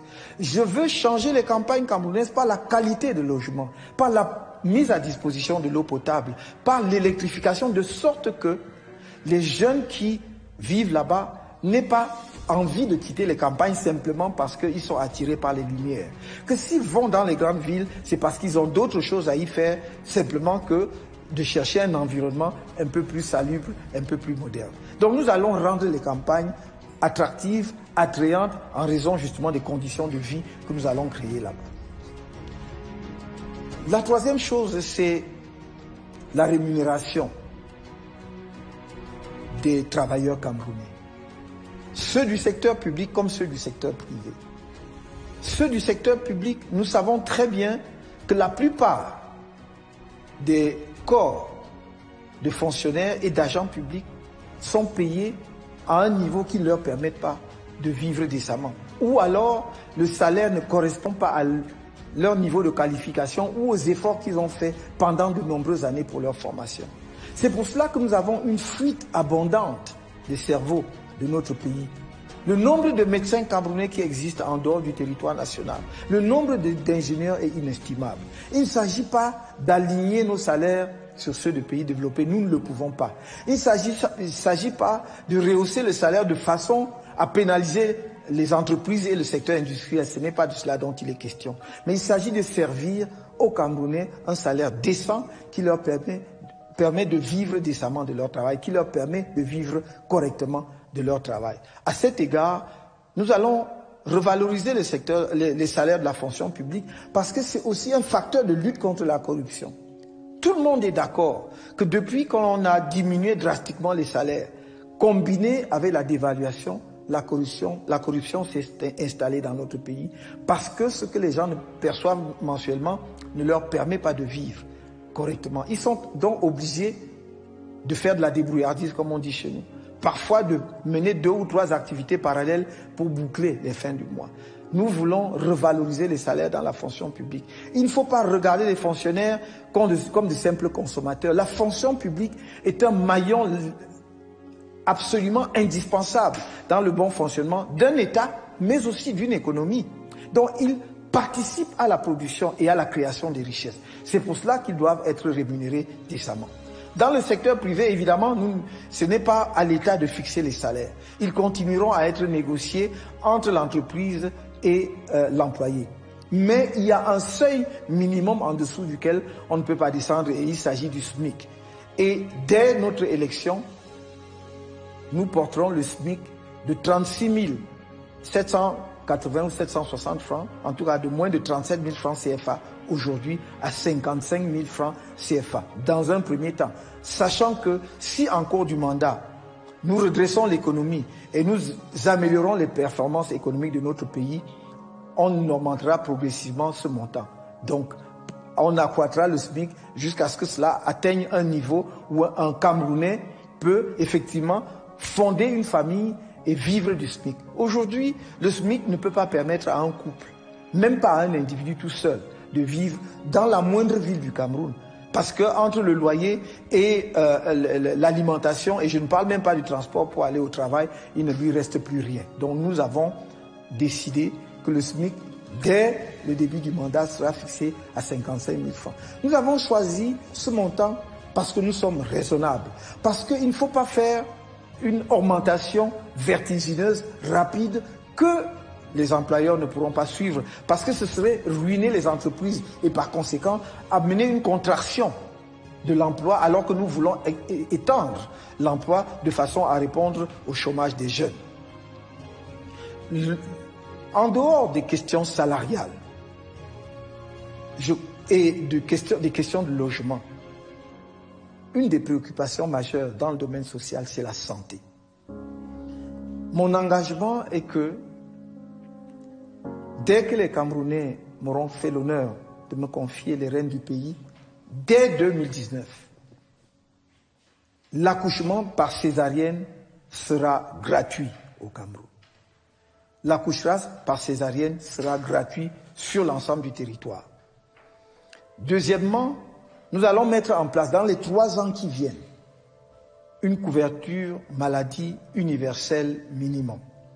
Pourquoi dans trois ans? Parce que c'est le délai que nous nous fixons pour régler les problèmes administratifs et financiers qui doivent accompagner cette politique. Et deuxièmement, pour régler le problème de l'approvisionnement en médicaments. En mettant en place dans notre pays des structures de fabrication des médicaments de base, il y a quelques unités de fabrication pharmaceutique qui existent déjà à Douala notamment, nous allons les accompagner, leur permettre, leur permettre de se développer. Et d'ailleurs, parce que ces unités seront assurées de la commande publique. Et deuxièmement, mettre en place dans les structures hospitalières et dans les centres de santé des pharmacies approvisionnées justement en médicaments dont la gratuité sera assurée pour tous les Camerounais. L'assurance maladie universelle vise à donner à tout Camerounais, qu'il soit cultivateur, commerçant, paysan, euh, fonctionnaire, employé, d'avoir accès à un certain nombre de soins de santé gratuitement. Par exemple, désormais avec ce système, tout Camerounais qui, par exemple, souffre de paludisme, de choléra, de méningite, des maladies courantes, sera soigné gratuitement. Il se rendra à l'hôpital si le médecin diagnostique qu'il a un paludisme, il fera une prescription de médicaments, il ira prendre ses médicaments à la pharmacie de l'hôpital et il pourra aller chez lui suivre son traitement gratuitement. Nous avons les moyens de financer une telle politique. Et en particulier, cette politique sera financée par la diminution du train de vie de l'État. Nous pouvons facilement trouver dans les niches de dépenses ostentatoires ou de dépenses injustifiées au sein de l'État que je n'ai pas le temps de développer ici, par exemple sur les voyages à l'étranger, juste pour donner une illustration, des fonctionnaires, les classes auxquelles voyagent les fonctionnaires, jusqu'à une date récente, on m'a dit que un texte aurait été pris en ce sens, mais jusqu'à une date récente, nombreux sont un certain nombre de hauts responsables de la fonction publique et de l'État qui avaient le droit de voyager en première classe. Mais je voudrais dire à mes compatriotes camerounais qu'un billet d'avion entre Yaoundé et Paris en première classe coûte 6 millions de francs on aurait pu les faire voyager en business, ce qui est déjà luxueux comparé à des pays développés, comme la Finlande, où des ministres voyagent en classe économique. Donc, mon objectif, ce n'est pas de ramener les ministres camerounais à voyager en, classe économique, mais au moins donc en business class, où ils peuvent voyager confortablement et être traités dignement. Donc, si sur chaque billet d'avion qui coûtait 6 millions de francs, vous faites une économie de 3 millions de francs parce qu'un billet business class coûte entre 2 millions 8 et 3 millions de francs. Vous diminuez déjà de moitié cette dépense-là. Et on peut trouver d'autres gisements d'économie comme cela dans euh, le type de véhicule dont on dote les hauts fonctionnaires de l'État. C'est normal que les hauts fonctionnaires de l'État aient des véhicules de service, mais ils n'ont pas tous besoin de véhicules 4x4 que ces genres de véhicules soient réservés à ceux qui font des missions de contrôle sur le terrain, d'inspection. Mais pour les fonctionnaires qui sont en permanence dans les grandes villes, on n'a pas besoin d'acheter des véhicules de 40 millions à 60 millions. Donc on peut faire des économies sur ces chapitres. On peut faire des économies sur le carburant. On peut faire des économies sur bien d'autres chapitres des dépenses publiques, par exemple sur les, fournitures dans la fonction publique. Vous savez, la, mercuriale de l'État a, des prix planchers et des prix euh, plafonds. Mais tous les achats se font au prix plafond et jamais au prix plancher, même pas au prix moyen. Donc nous allons trouver des mécanismes pour que justement la fourniture dans la fonction publique se fasse au niveau où le Camerounais courant s'approvisionne, peut-être avec une marge, puisque le fournisseur dans la fonction publique fournit d'abord avant d'être payé plus tard. Donc comme il n'est pas payé cash, on peut effectivement lui donner une marge, mais pas ce que l'on observe aujourd'hui. Donc il y a suffisamment d'endroits et de niches où nous aux artistes et aux hommes de culture que nous les respectons énormément, aux hommes et femmes de culture, bien entendu. Et dans ce domaine, comme dans le domaine du sport, dont je parlerai tout à l'heure, le Cameroun est particulièrement bien doté. C'est un pays béni là aussi, où nous avons de nombreux musiciens de réputation mondiale, de dimension mondiale. Très peu de pays en Afrique peuvent aligner deux, trois musiciens de cette dimension. Le Cameroun peut en aligner cinq à la fois. Où nous avons des gens qui créent des opéras au Cameroun, Nous avons des chanteurs classiques qui font merveille partout dans le monde. Nous avons des créateurs de théâtre. Nous avons des cinéastes de talent qui ont été primés euh, dans beaucoup de festivals. Et j'en passe. Mais qu'est-ce que nous en faisons? Je voudrais demain que ce soit non seulement la vitrine de notre pays sur le plan africain et mondial, mais que ce soit également considéré comme une filière industrielle.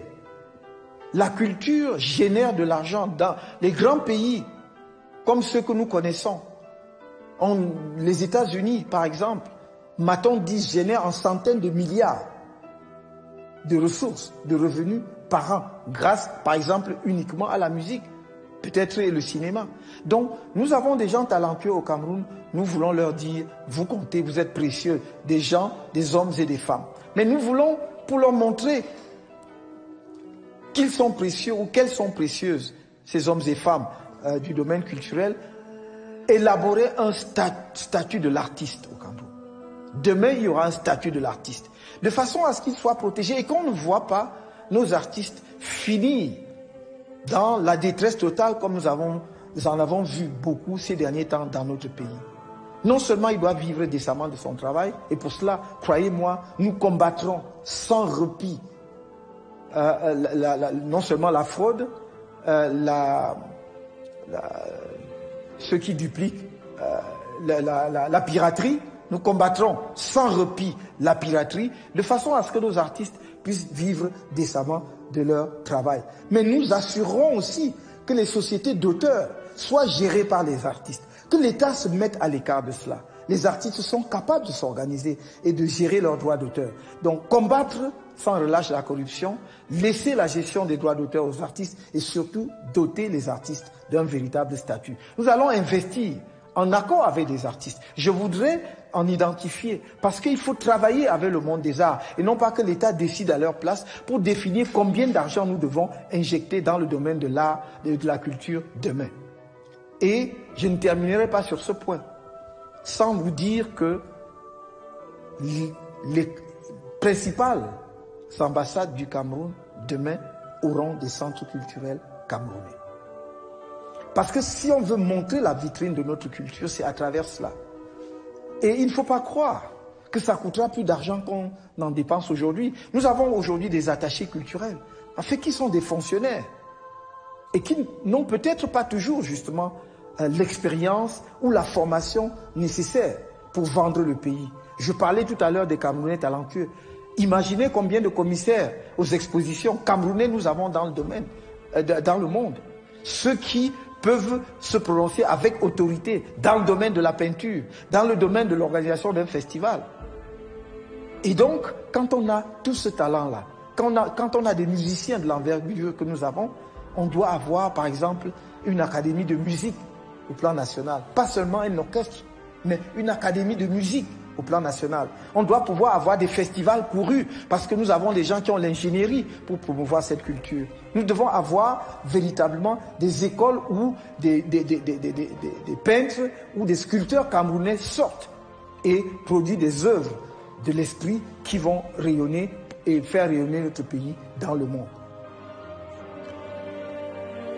J'ai pensé que d'ores et déjà, je peux indiquer, en attendant les conditions de mise en œuvre euh, en partenariat avec les artistes, que nous pouvons parfaitement concevoir que dans chaque chef-lieu de région, dans chacune des capitales des dix régions du Cameroun, il faudra demain une maison de l'art et de la culture.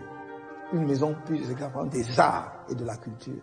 Où un jeune Camerounais qui veut faire de la musique peut y trouver un cadre. Ou un jeune Camerounais qui veut faire une exposition de peinture ou de sculpture peut y trouver un cadre. Ou des jeunes Camerounais qui veulent apprendre la danse peuvent y trouver un cadre. Ou des jeunes Camerounais qui veulent euh, euh, euh, jouer une pièce de théâtre peuvent y trouver un cadre. Et où des Camerounais peuvent aller justement découvrir tous ces talents en fin de semaine et se décharger d'une semaine de travail. Ça, c'est une des priorités qu'il faudra mettre en place dans les dix régions du pays, de façon à offrir aux Camerounais justement ces lieux où à la fois on découvre les talents et où les talents se produisent. Dans le domaine culturel, il y aura quelques institutions symboliques. marquant notre volonté de porter notre culture à un autre niveau, de faire du Cameroun une véritable puissance culturelle en Afrique. Il s'agit premièrement de la construction d'une bibliothèque du monde noir, où l'on trouvera, dans la mesure du possible, tous les ouvrages ayant trait au monde noir, à son histoire, à sa culture, à sa diaspora. Il y aura ensuite une académie nationale qui d'ailleurs aura entre autres missions de suivre la mise en place de la langue nationale du Cameroun, mais également son développement et son évolution. Et d'autre part, ce sera le haut lieu où l'on va symboliquement rendre hommage aux grands hommes et aux grandes femmes de la culture camerounaise. Il y aura enfin ce que j'appelle la grande coupole de la mémoire et des souvenirs. C'est le lieu où toutes les grandes personnalités publiques marquantes de l'histoire de notre pays, récentes ou anciennes, dont, on peut trouver encore les vestiges, que ce soit leur sang, la terre de l'endroit où ils sont morts, ou pour ceux qui sont encore vivants, leurs cendres, leurs photos et autres, seront entreposés comme chez certains, on parle de panthéon. Ce sera, pour rendre cela intelligible pour tout le monde, le panthéon camerounais. La grande coupole de la mémoire et des souvenirs. De la mémoire parce que c'est le lieu de mémoire de notre histoire politique. des souvenirs pour que justement ceux qui se sont sacrifiés, ceux qui ont été des héros nationaux, ceux qui ont rendu des services exceptionnels au Cameroun, ne soient jamais oubliés. Et ils seront justement des gens peut-être de traditions politiques différentes. Car la réconciliation de la mémoire du Cameroun, la construction de la nation passe par un moment de convergence entre les deux grands courants qui se sont affrontés même à un moment dans l'histoire politique de notre pays. Ceux qui d'ailleurs ont été instrumentalisés par les puissances coloniales contre leur propre population, parfois justement sans en mesurer la portée, et ceux qui en ont été les victimes. Nous voulons être à l'intersection de cette histoire pour justement être l'agent historique de cette réconciliation. C'est à cela que servira la grande coupole de la mémoire et des souvenirs. Dans le domaine du sport, j'ai dit, nous sommes une nation sportive, ça n'est un secret pour personne. Mais on voit bien que le sport camerounais décline d'année en année, de décennie en décennie. Tout simplement parce que nous n'avons pas d'une part mis en place les infrastructures nécessaires, mais parce que nous n'avons pas doté le pays d'une politique sportive visible. Songez que pendant longtemps, les équipes camerounaises ont participé à la phase finale des championnats mondiaux de boxe, des championnats mondiaux de basketball, des championnats mondiaux de volleyball, de handball. D'où sortaient ces Camerounais aussi talentueux? Pas semblant de l'étranger comme on le croit. Ils étaient produits sur le plan national, local. Pourquoi? Parce que pendant près de 20 ans, tous les établissements scolaires au Cameroun étaient dotés, en dehors d'un terrain de football, d'un gymnase, où les jeunes Camerounais pouvaient pratiquer le basket, le handball et le volleyball. Tout cela a disparu. Aujourd'hui, l'État lui-même construit des lycées et, collèges d'enseignement secondaire sans aucune infrastructure sportive. Cela va cesser. Parce que demain, nous allons imposer déjà aux structures publiques elles-mêmes de construire tous les établissements scolaires avec des aires de jeu et en particulier avec des gymnases. Mais cela aussi entrera dans le cahier des charges des promoteurs privés. Il n'y aura plus d'établissements scolaires et en particulier secondaires au Cameroun demain sans un gymnase. C'est là qu'on va former la pépinière de ceux qui deviendront les grands sportifs camerounais au niveau national et au niveau international. Sur le plan du football, nous avons une réputation mondiale établie. On voit bien qu'il y a une promotion dans un certain nombre de stades au moment où nous nous apprêtons à organiser euh, la CAN, la Coupe d'Afrique des Nations de football. Mais ça se passe dans cinq villes. Douala, Yaoundé, Boya, Bafoussam et Gaba. Le Cameroun ne se réduit pas à cinq villes.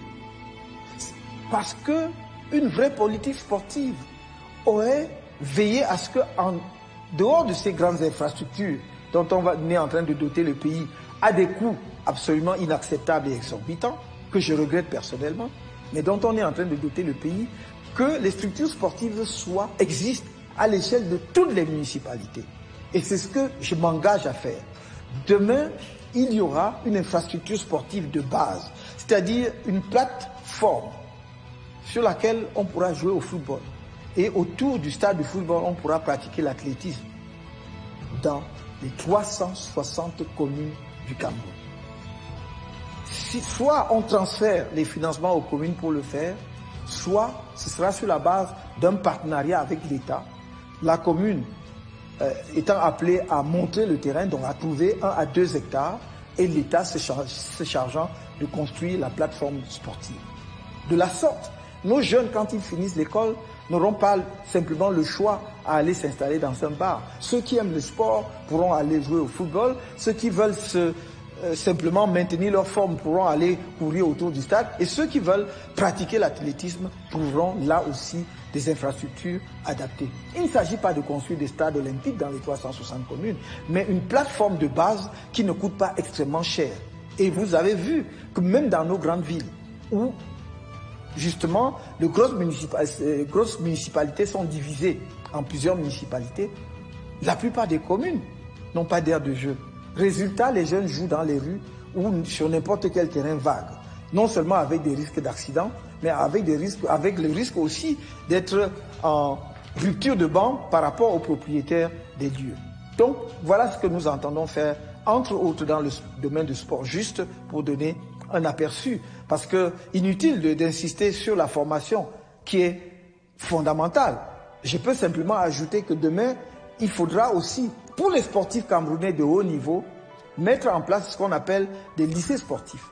C'est-à-dire des lycées, des établissements scolaires dédiés où un jeune Camerounais talentueux peut à la fois suivre des enseignements scolaires, donc faire des études et pratiquer son sport. Vous avez des jeunes Camerounais qui ont la morphologie naturelle d'un basketteur. Il a deux mètres. Dans tous les grands pays, dès que vous avez deux mètres, on vous approche pour pratiquer le basket, sans même que vous demandiez, même si vous n'avez jamais touché un ballon de basketball. Et dans cet établissement, vous suivez vos études normalement, parce qu'on est aussi conscient que ce ne sont pas tous les jeunes qui vont réussir. Et donc ceux qui n'auront pas réussi auront fait leurs études et peuvent s'insérer dans la vie active. C'est pour cela que nous pensons qu'il est absolument indispensable demain de commencer à mettre dans un certain nombre de localités ce genre de lycée sportif dans notre pays. J'ai parlé tout à l'heure de la solidarité. Politique sociale et de la solidarité. La solidarité est extrêmement importante pour nous. Amener les Camerounais à comprendre qu'ils sont fils et filles d'une même nation le vivre ensemble dont nous parlions, ça ne peut pas rester théorique. Et c'est pour cela que nous voulons mettre en place un service national des volontaires de la solidarité. C'est un service qui sera accompagné par l'État, par les moyens de l'État, au sein duquel devra intervenir tout jeune Camerounais pendant une durée de six mois avant d'entrer dans la vie active dans sa vie professionnelle. Cela veut dire que si vous avez un jeune qui est diplômé de médecine, un jeune qui est diplômé euh, d'une école d'ingénieur, un jeune qui est diplômé euh, de facultés de droit et, d'autres facultés, ou même qui est diplômé d'une école d'infirmiers ou d'aide-soignants ou d'instituteurs, et qu'il sais-je encore, il va travailler pour six mois, pendant six mois pour la collectivité nationale. Cela nous permettra non seulement de leur permettre de faire un brassage, pendant les six mois il est pris en charge par l'État, mais il va aller travailler là où l'État va le déployer, dans le cadre de la solidarité nationale.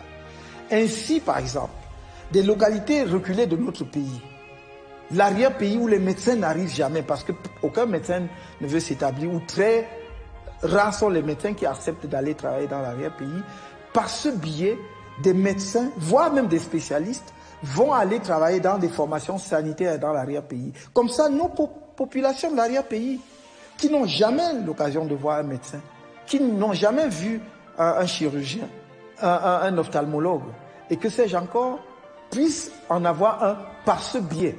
Il, il sera là pour six mois. Il n'y fera pas toute sa vie.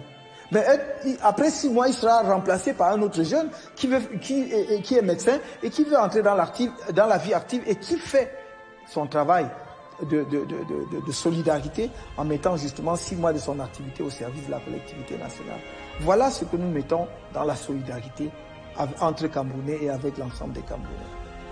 Je vois que des infrastructures sportives importantes sont en construction dans le pays dans la perspective de la Cannes. Je trouve d'ailleurs qu'elles sont construites à des prix exorbitants. Euh, ce que nous avons condamné fermement, c'est regrettable pour notre pays. Ces infrastructures sont construites où? À Douala, à Yaoundé, à Limbe, à Bafoussam et à Garoua.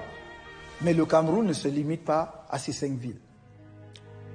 Nous ne pouvons pas décemment ignorer plus de la moitié de la population camerounaise ou sous-estimer son rôle dans le développement de notre pays et espérer accomplir les bons indispensables dans le cadre de la politique de modernisation.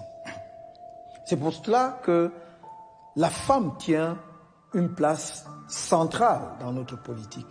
Non seulement parce que c'est elle qui est en fait le socle sur lequel repose la famille, et en particulier la famille africaine et camerounaise en l'occurrence, mais parce que elle a un rôle majeur dans l'encadrement des enfants et dans sa contribution au développement global du pays. Il est hors de question que demain, on continue de poursuivre une politique qui réduit la femme camerounaise à un rôle d'applaudissement dans les meetings ou pour euh, exalter les louanges de je ne sais qui.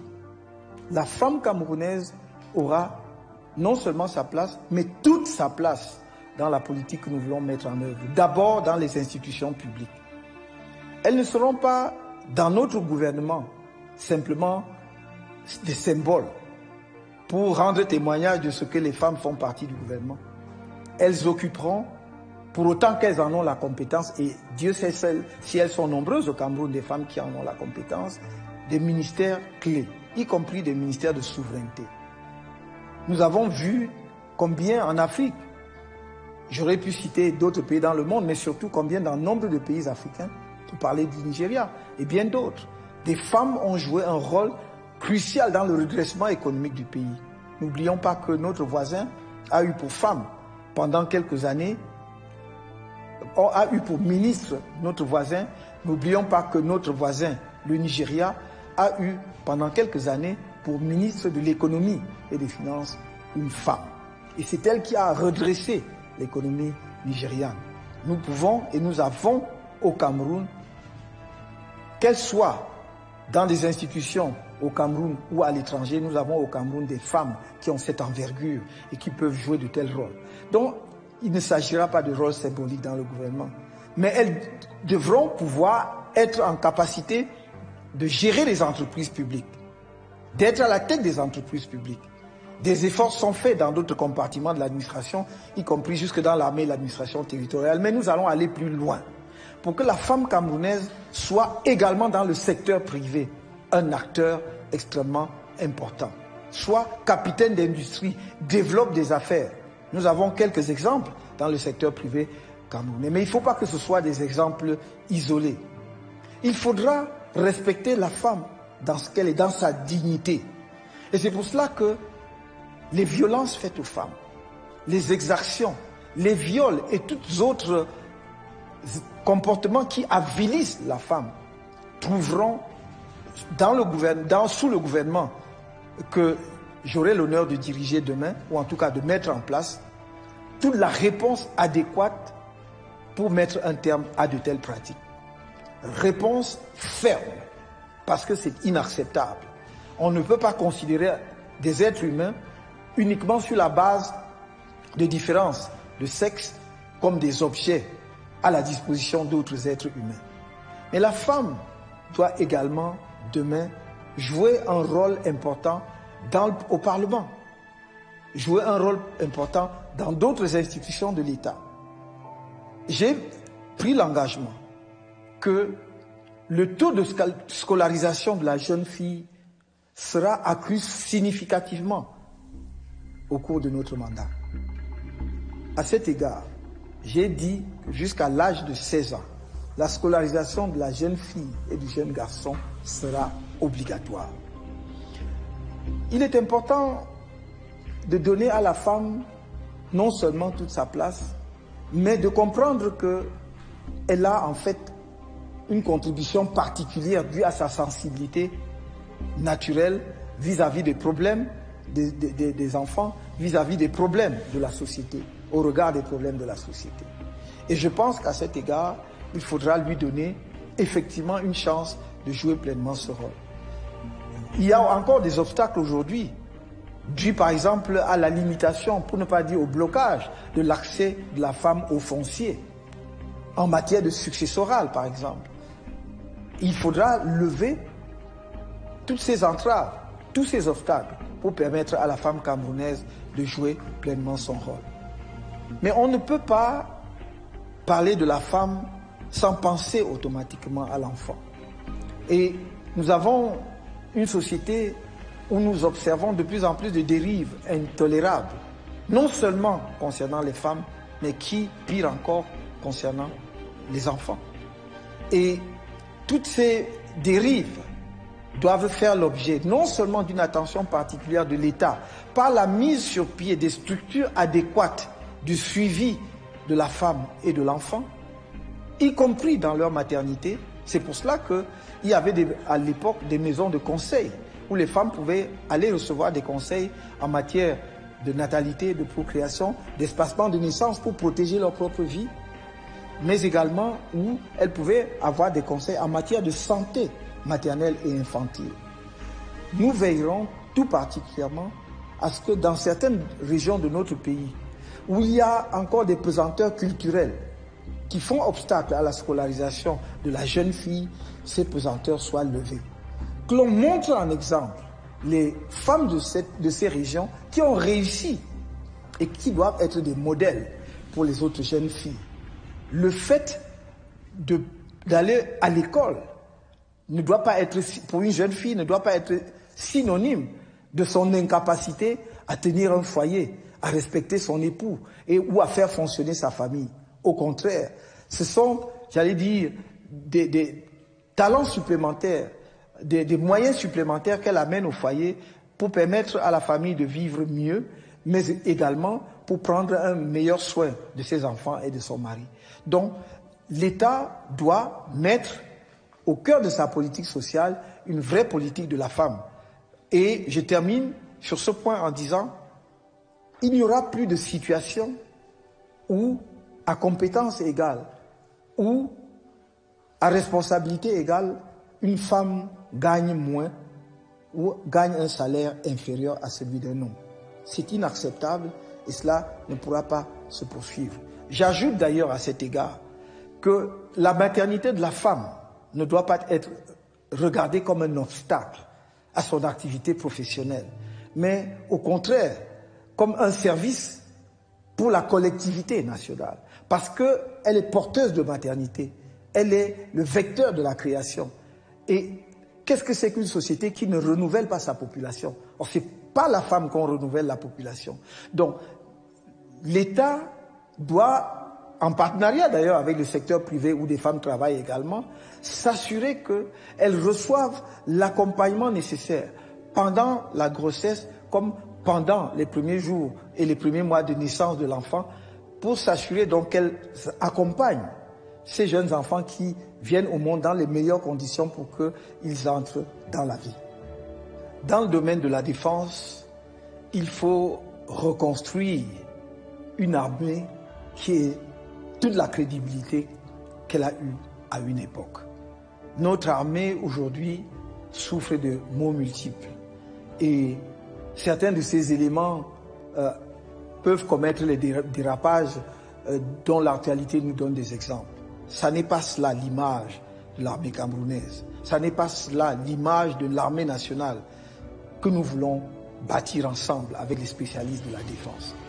Notre armée manque d'une véritable politique de défense renouvelée et adaptée aux défis du monde d'aujourd'hui. Il nous faut demain, et des spécialistes travaillent à cet égard, un livre blanc de la défense. Il faut que nous sachions quelle est notre doctrine de défense. Nous voulons une armée de métier, une armée de professionnels, mais qui doit être articulée à sa population. Parce que notre armée, tout en étant une armée professionnelle, doit être une armée populaire. Parce qu'elle doit travailler en synergie et en symbiose avec le peuple et avec les populations camerounaises dont elle assure la défense et sur laquelle elle doit compter pour remplir efficacement ses missions, ne serait-ce que en termes justement de collecte d'informations. C'est une armée où on doit respecter la bonne tradition militaire, où l'ancienneté est strictement respectée dans les promotions. C'est une armée où le matériel, l'équipement militaire doit faire, l'objet d'un soin et d'une attention particulière parce qu'elle doit être modernisée, être à jour pour permettre justement à nos forces de défense de donner le meilleur d'eux-mêmes et de répondre efficacement aux défis auxquels le pays est exposé.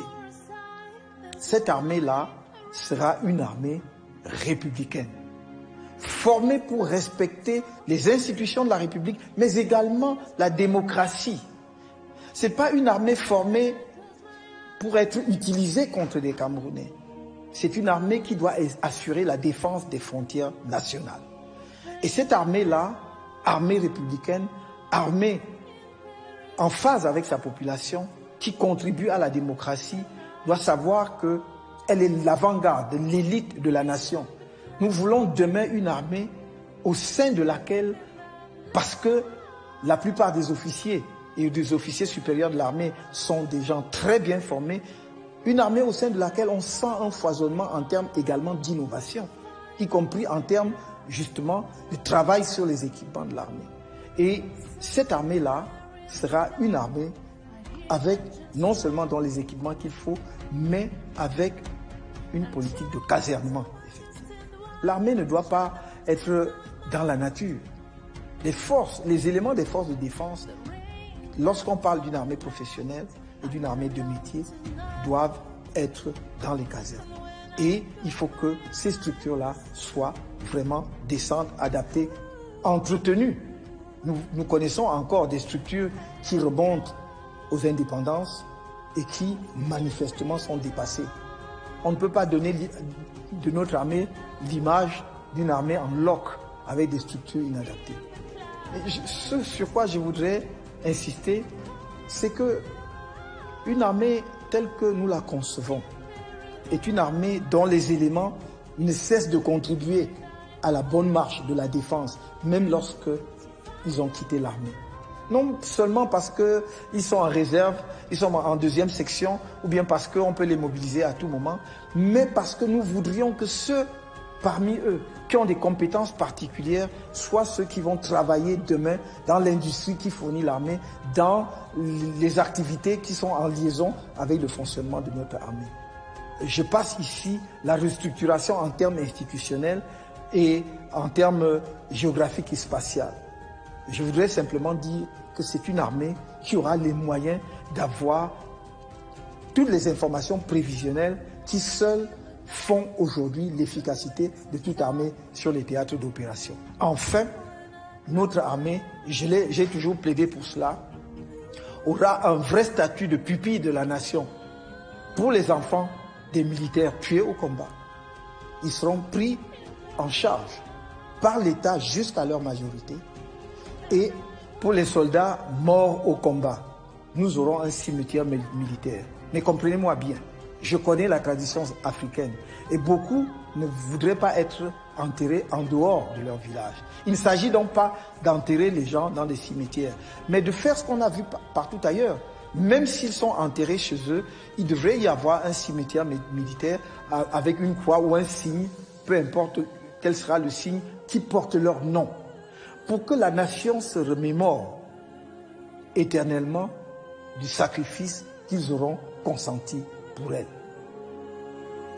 Alors, au-delà des cimetières militaires, il faudra un monument aux morts, qui est le haut lieu symbolique où brûle la flamme, portée par les militaires morts au combat, portée par les soldats morts au combat, où on se remémore à l'occasion euh, soit de la fête nationale ou d'une journée dédiée spécialement aux armées, ce sacrifice suprême.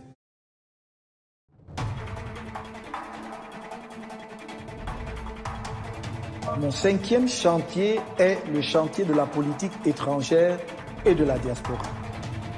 Notre politique étrangère sera axée sur la défense permanente des intérêts du Cameroun.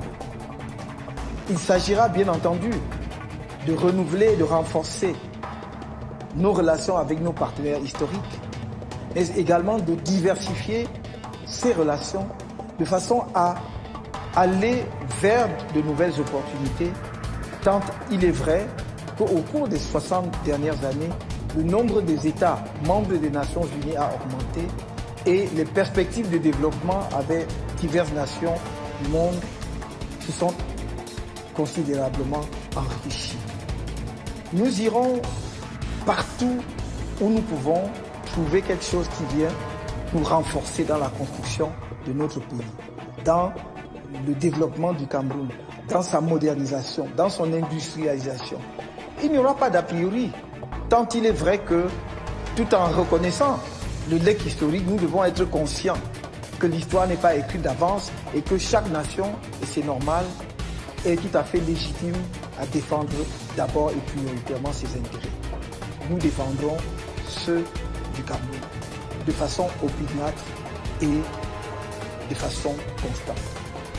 S'agissant euh, de la diaspora camerounaise, il s'agit de bâtir un véritable pacte avec nos compatriotes de l'étranger.